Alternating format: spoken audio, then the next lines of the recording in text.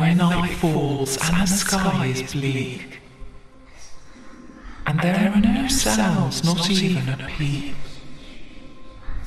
When the eyelids fall and the body's weak, and the tongue is so tired it can't bear to speak. After counting sheep till you're fast asleep, there lies a world deep within your sleep of monsters and mystery and meaning so deep.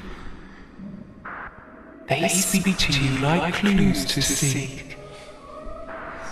The message of lessons you haven't achieved. Beneath the shadows that haunt and creep. Unlock the secrets your mind keeps. Welcome to the world of dreams.